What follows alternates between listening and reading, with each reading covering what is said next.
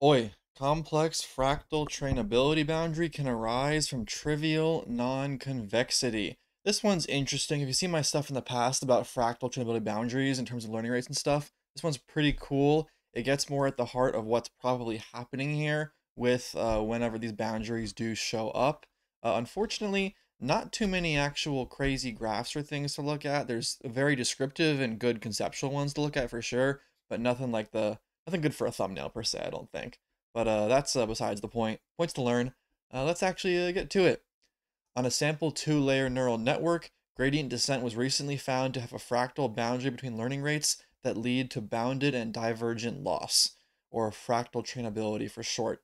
Check out, I have a video um, from I want to say two or three months ago maybe that uh, just look up fractal on my channel you'll see it pretty quickly consequently a slight change in hyperparameters can change the training results qualitatively with little hope to choose good hyperparameters in advance so what that previous paper was doing is they were saying um, the guy trained a gazillion uh, so many just two layer feed forward networks and trained them on different learning rates. I believe he had two variables he's messing Sorry, my mic. I apologize if that hurt your ears or something.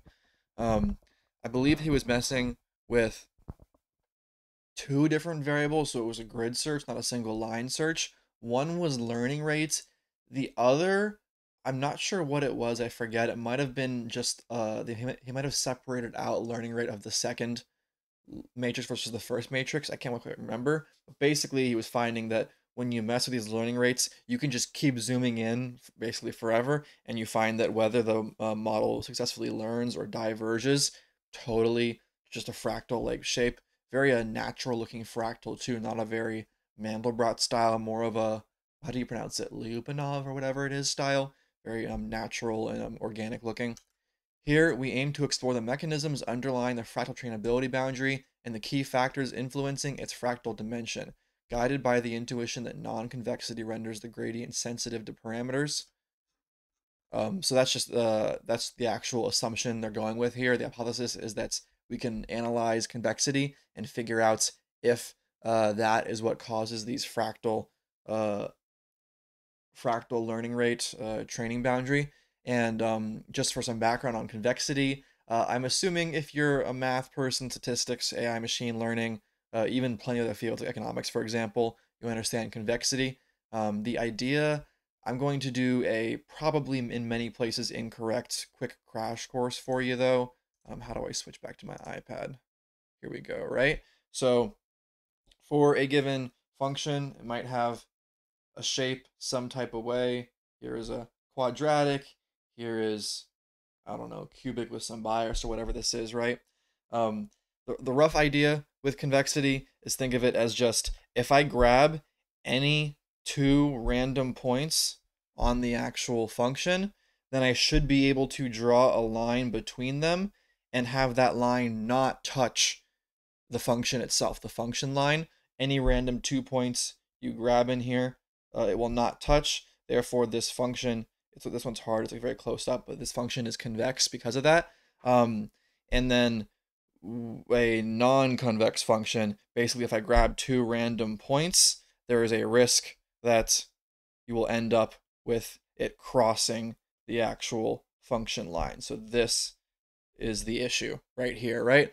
Um, that's not quite perfect way to describe it per se. And there's the whole like convexity versus concavity. If you're aware of that, is more just a reframing of the exact same problem. Um, but that's about all I'm gonna actually get into for describing what's happening with that and we'll see in the actual paper uh, these graphs it has as examples. So we first elaborate the key intuition of why certain non-convexity may lead to the fractal trainability boundary, right? If non-convexity can make the gradient sensitive to, param to a parameter after we shift the learning rates a little uh, at a certain step. So basically they made uh, these started off with a convex function, aka just simple quadratic. This is equivalent to a mean squared error loss, I believe they're using. And then they added uh, a non-convex function here was either a sine or a cosine, I forget. And what happens uh, when you add a sine or a cosine to a quadratic is you get these little ridges, and these ridges are the thing that makes it non-convex. You grab two random points in there, draw a line across, it's probably going to intersect with other points of the function. And they did two versions, an additive version and a multiplicative version. So when you add by sine, the important thing to notice is that adding by sine, the bottom of the function, this uh, the actual point of interest to optimize towards, uh, is the largest in terms of non-convexity, whereas when you go up on the edges, like top left or top right, and as you keep going up in that direction, it's actually closer to convex. The um the the magnitude of the sine function is relatively small in comparison to the actual uh, numbers that you will be seeing when you go on a quadratic function to the far left or far right, top up and to the right, up to the left. And whereas multiplicative is different. With a multiplicative, uh, when you multiply quadratic by a sine, sine or cosine function, what you find is that the actual critical point, the place you want to optimize towards, that is the relatively almost convex parts near convex. Whereas when you go off to the edges, top left and top right, and keep going, those are the parts that get really, really non-convex, and that can possibly lead to different uh, results. And they tested both of them in this paper. So uh, a xk plus one, which I presume means a uh, next iteration in, uh, so yeah, so kth step. So we're referring to our steps in training as k. So on the next training step will be a little different from the one obtained with the unchanged learning rates. So what they're doing here, they're starting to train a network a little bit, so just having it train a little bit. Then they are splitting it into two different networks and giving one of them a slightly different learning rates. And that slightly different learning rates, um, if we had uh, not fractal, just regular smooth trainability boundaries, it wouldn't be an issue. Uh, but because it's fractal trainability boundaries, what we're going to find is that very small change in learning rates is going to have a huge impact on the actual likelihood that the model trains, despite being just a very, very small edit. And we watch those two models, or that one model as it splits into two, as we try to train it separately with the learning rates, how those two diverge from each other.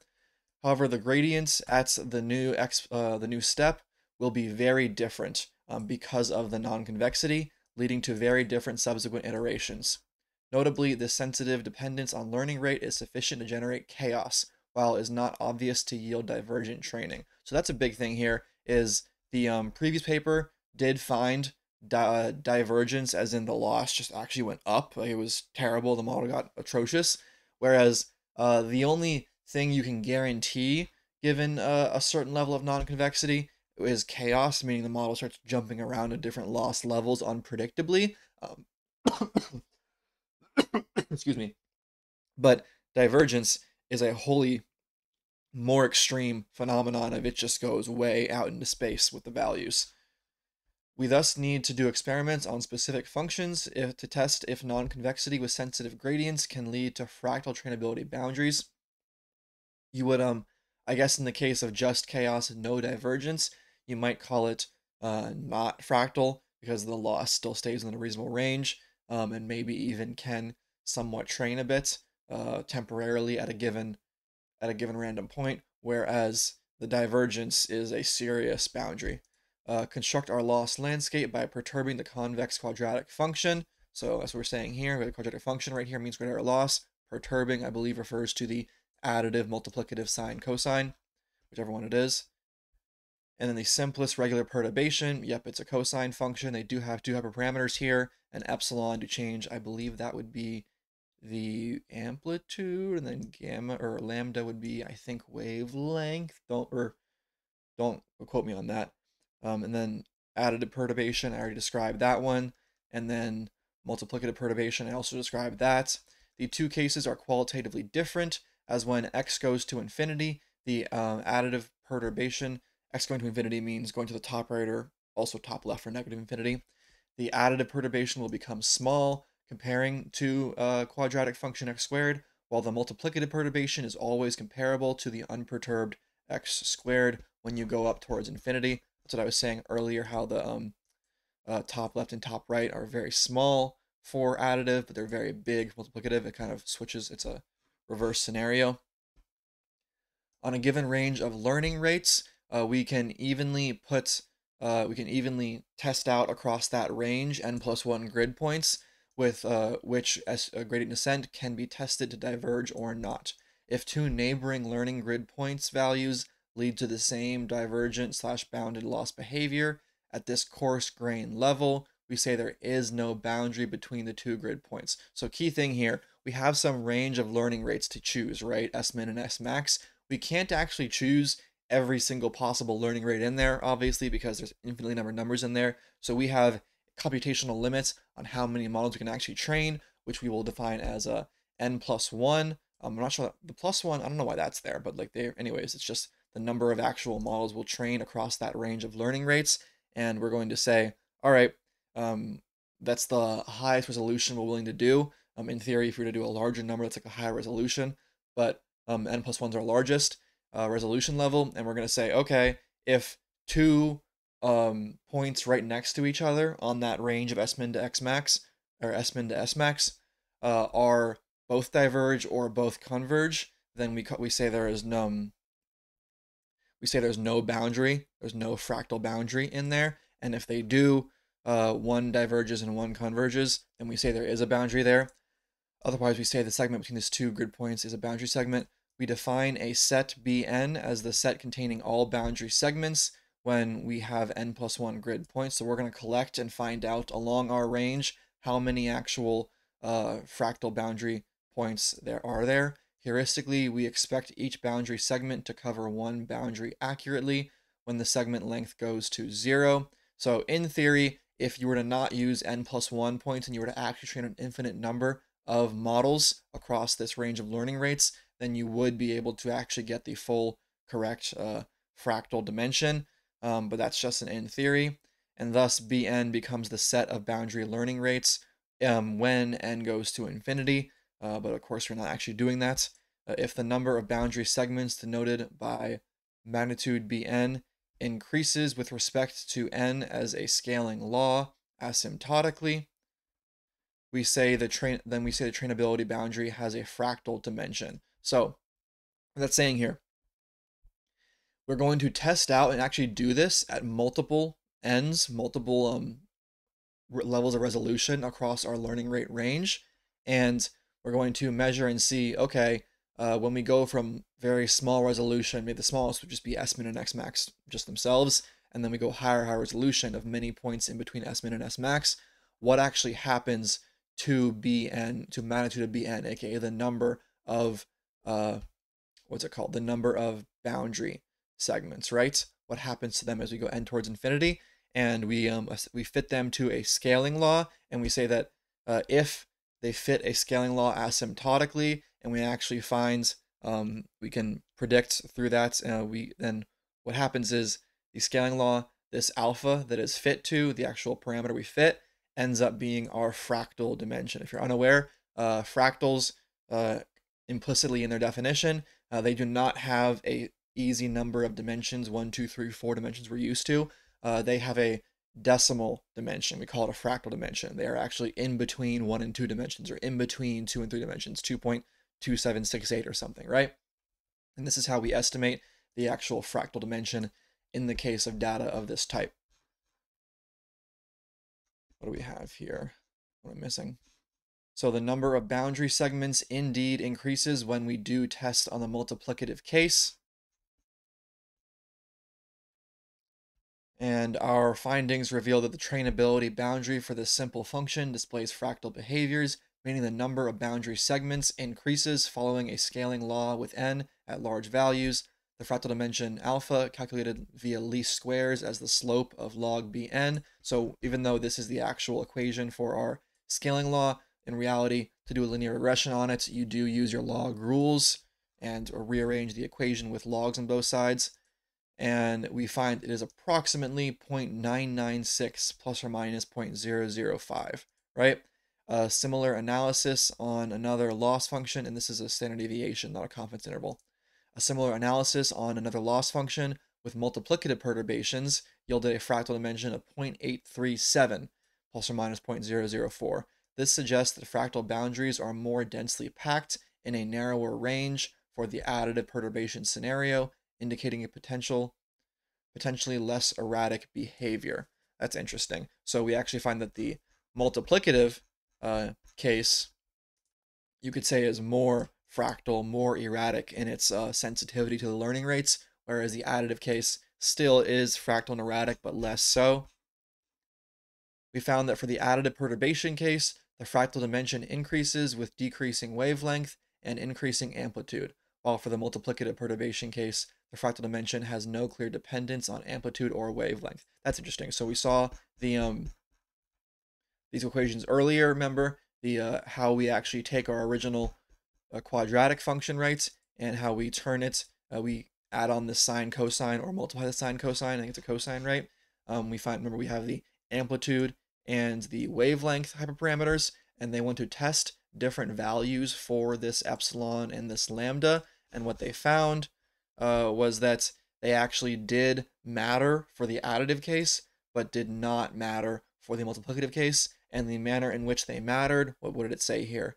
Uh, fractal dimension increases with decreasing wavelength and increasing amplitude. And that makes sense. Think about it. So we look back at this uh, right here, uh, decreasing wavelength means that those little waves get closer together, right? And increasing amplitude means the actual waves get taller in height, right? So what, what that means is th that lines up with being less convex. When you make the thing less, or you, not that there's such thing as like less convex versus more convex per se in that way I'm using it, but when you make the thing more jagged, it gets a, a more intense fractal degree. When these lines get more jagged, closer together, um, it creates more erratic behavior, which makes sense.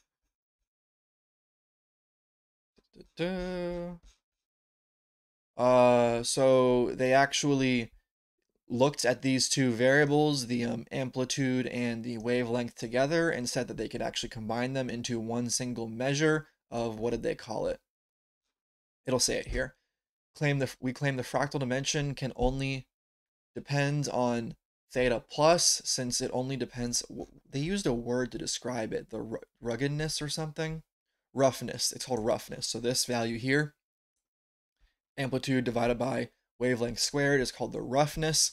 Uh, we claim the fractal dimension can only depend on the roughness since it only depends on epsilon and lambda and is invariant under the renormalization transformations. We would call the quantity, oh, it says right there, roughness, as it is in the prefactor of the second derivative of the additive perturbation. That's uh, annoying to talk about, annoying to, to read. Measuring the sensitivity of the gradient's dependence on the parameter. We plotted the fractal dimension as a function of roughness uh, and found the fractal dimension shows a clear and sharp transition from zero, i.e. no fractal behavior, to non-zero when increasing roughness, right? And that is figure 2c. Where do we have that? Figure 2c. So, um, what do we have here? Uh, it doesn't actually use roughness as the units. It looks like x or x-axis is wavelength lambda, y-axis is amplitude epsilon, and c is the multi C is the additive case and D is the multiplicative case. So on the left is additive, on the right multiplicative. And you see here uh, with on the right multiplicative case, when you mess around with the wavelength and amplitude, there's really no clear relationship.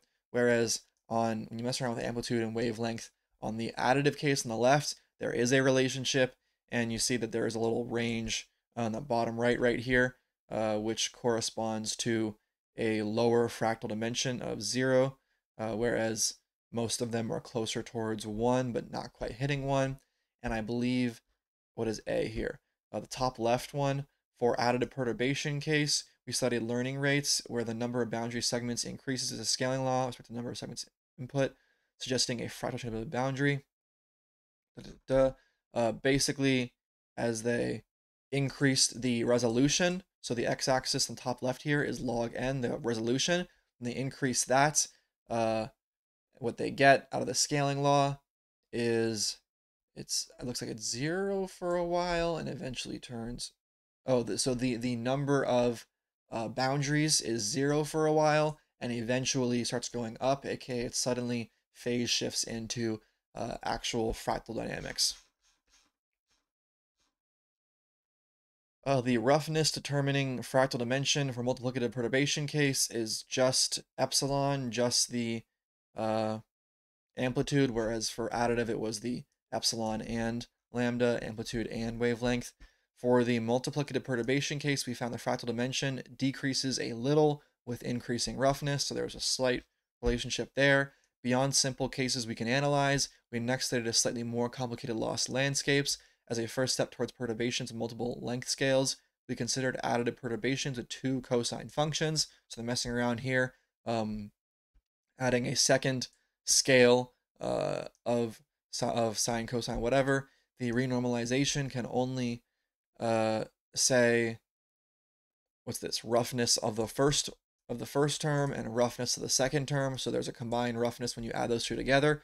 Determine the fractal dimension and cannot yield a single variable controlling the fractal dimension, the fractal behavior. So these two terms, when you add two different sources of roughness, do not have any way to simplify them down. They really do end up being independent in this additive case. We found the fractal dimension depends non-monotonically on each of the amplitudes. However, the claim that fractal behavior behaviors arise when the loss becomes non-convex is still valid. We next explored how the dimension of parameters x affect the trainability boundary. The results suggest that the fractal dimension does not change much with respect to d in the multi in the additive perturbation scenario. Um, d, I believe, is the model dimension, right? Yeah, so yeah, the, the, given an input vector x within um, real numbers to the power of d, aka a length d vector, uh, we find that the results suggest the fractal dimension does not change much with respect to d in the additive perturbation scenario. For multiplicative perturbation case, um, they define a different class of functions to multiply by their cosine uh, and do different levels of roughness at different scales. We found the fractal dimension alpha in the multiplicative, multiplicative case slowly increases in this case with respect to decreasing model dimension, which makes sense as the high dimensional optimization should be more complicated. That makes sense. Higher dimensions have a harder time with fractal dimensionality. Fractal dimensionality, bleh. Uh, constraints in our numerical implementation also impact the accuracy of the fractal dimensions we obtained. So that is a issue here that's not like issue for this study. It's more so an issue for any sense of like attempts at really understanding loss landscapes as we are using floating point numbers, which do limit our accuracy. For instance, computational resources cap the largest feasible n. Uh, so also, yeah, just we're capped in terms of we can't actually perfectly measure fractal dimension because our level of resolution when uh, looking at different learning rates is capped by our computation, limiting the number of data points available for accurately fitting the fractal dimension. The fractal boundary is densely packed with a very narrow range, a significantly large n is required to discern its fractal nature, potentially causing us to overlook certain fractal behaviors when n is limited. So it could be even more complicated as m if we had more computation to actually look at more learning rates. Interestingly, the practical significance of these fractal boundaries also comes into question.